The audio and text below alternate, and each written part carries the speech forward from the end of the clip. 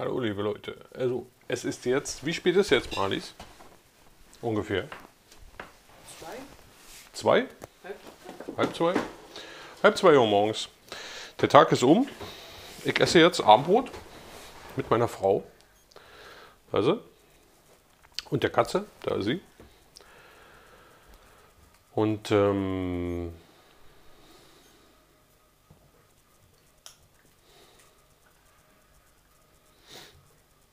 war jetzt gerade beim Jan gewesen. Der Jan, den habt ihr ja vielleicht äh, schon wahrgenommen jetzt in dem letzten Video von mir.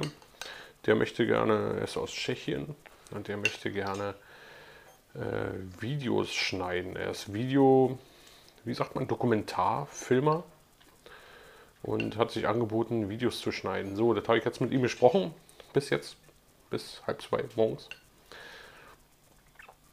Und ähm, ja, mal gucken. Jetzt schneidet er das erste Video. Sprich, den Vlog von heute gibt es nicht.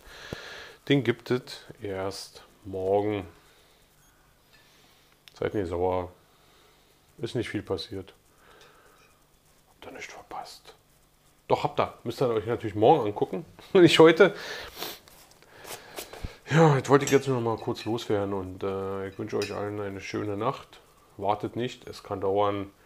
Mal schauen, wie er das macht. Er ist eigentlich Dokumentarfilmer und kein Cutter, aber er braucht ein bisschen Arbeit.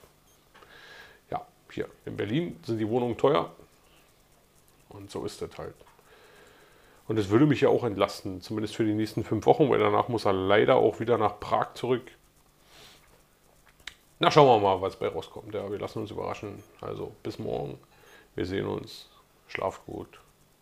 Ciao.